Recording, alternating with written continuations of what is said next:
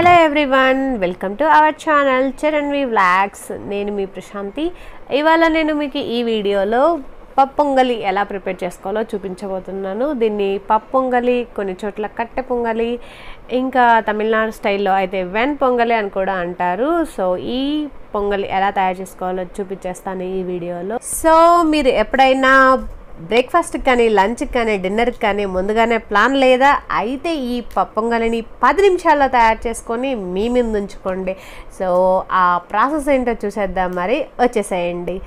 So దీనికి గాను నేనైతే ఇక్కడ ఒక గ్లాస్ బియ్యం ఒక గ్లాస్ బియ్యంకి ఒక గ్లాస్ పెసరపప్పు తీసుకున్నాను. ఇది ఈక్వల్ క్వాంటిటీ తీసుకుంటేనే చాలా రుచిగా వస్తుందండి. కొందరు హాఫ్ క్వాంటిటీనే తీసుకుంటారు. అలా తీసుకుంటే అంత రుచిగా రాదు. ప్లస్ పప్పు ఎక్కువగా తీసుకుంటేనే హెల్దీ కూడా కదా? అది మనందరికీ తెలిసిన విషయమే. సో నేను ఇక్కడైతే ఒకటి రైస్ అంటే ఒక గ్లాస్ రైస్ ఒక గ్లాస్ పెసరపప్పు తీసుకుంటున్నాను. ఇది బాగా శుభ్రంగా కడిగేసుకొని హాఫ్ అన్ అవర్ వరకు నానబెట్టుకోవాలి. నా నేను ఇక్కడ ఒక గ్లాస్ రైస్ ఒక గ్లాస్ పెసరపప్పు తీసుకుంటున్నాను కాబట్టి మొత్తం రెండు గ్లాసులు. రెండు గ్లాసులకి ఆరు గ్లాసుల వాటర్ పడతాయి అనమాట అంటే ఒకటికి మూడు వంతుల వాటర్ పడతాయి.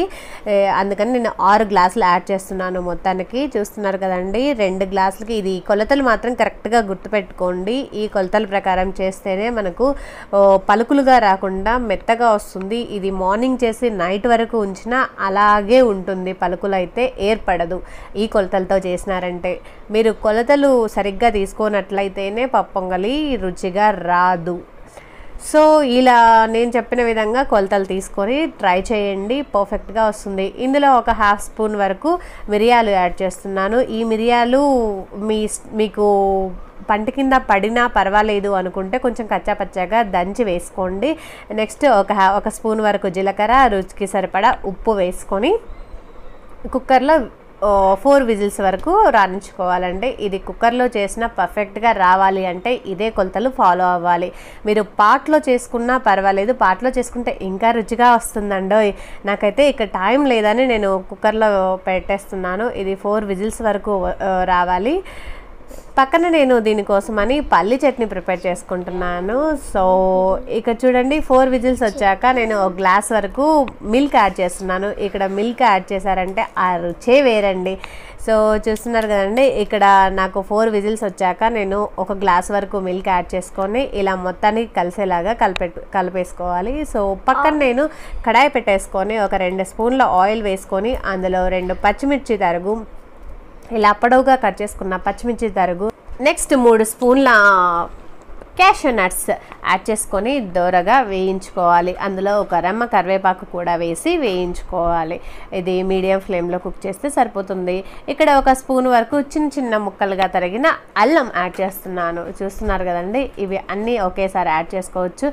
ఇందులో ఒక ఎండుమిర్చి కూడా వేసి గోల్డెన్ బ్రౌన్ కలర్ వచ్చే వరకు ఫ్రై చేసేసుకోవడమే చూసారా? నవి పర్ఫెక్ట్గా ఫ్రై అయిపోయింది.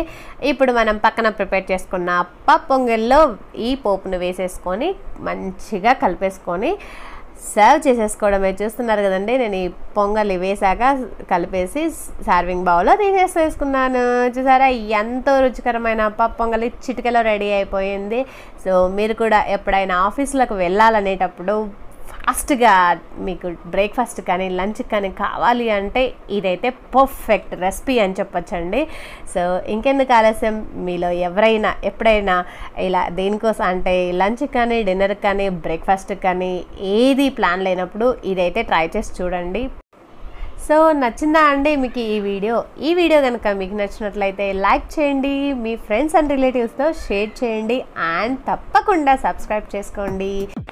Charanvi Relax channel. Thanks for watching. Bye bye. Stay home, stay safe, stay digital. See you in the next video. Take care. Have a nice day.